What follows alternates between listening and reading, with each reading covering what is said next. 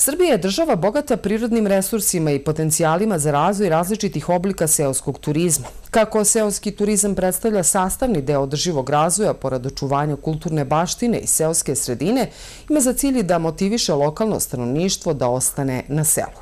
Na teritoriji Srbije 90% regiona se smatra ruralnim područjima i na ovom prostoru živi oko 43% ukupnog stanovništva. Prema savetima stručnjaka, Poljoprivredna savjetodavna stručna služba u tome vidi novu šansu za razvoj nove grane poljoprivrede, ali i privrede. Ono što je specifično za srpsku poljoprivredu jesu da, jeste da negde preko 99% gazdinstava, i to mali gazdinstava, su nosioci poljoprivredne proizvodnje oni su oslabili i prosto nameće se e, nužnost da bi ojačali, a slobodno mogu reći da bi obezbedili svoju održivost i opstanak u ruralnim područjima, neophodno je da jačaju.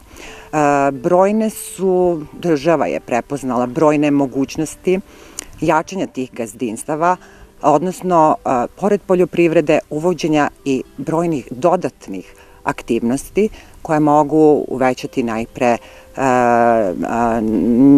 njihove financije, što navodno kroz duži niz godina obezbeđuje ono što sam prethodno napomenula, znači njihovu održivost, a indirektno i održivost e, celokupnih ruralnih zajednica.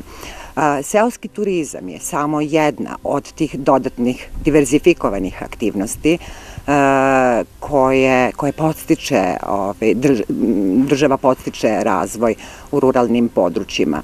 A, zašto? Zato što recimo preko 85% površine Republike Srbije e, je ruralno područje a, i što postoje brojni kapaciteti od očuvane prirodne sredine, bogatstva i vazduha i voda i flore i faune, kulturno-istorijskih bogatstava Kraljevački kraj je pogotovo, pogotovo ovaj, poznat po svim ovim bogatstvima i uh, ono što ste me pitali, uh, posjeduje velike potencijale za razvoj seoskog turizma.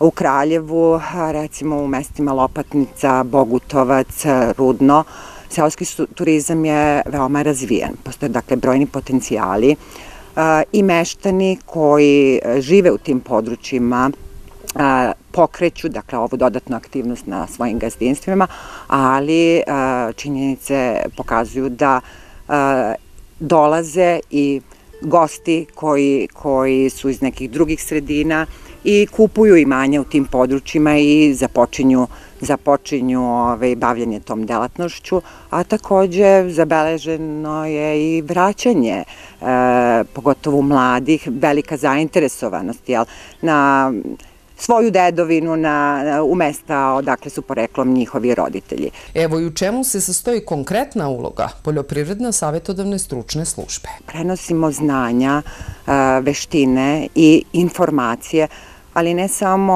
ove, iz oblasti seoskog turizma, nego iz svih oblasti koje su bitne i značajne za život i rad i opstanak stanovništva ove, na selu konkretno za seoski turizam već nekoliko godina unazad.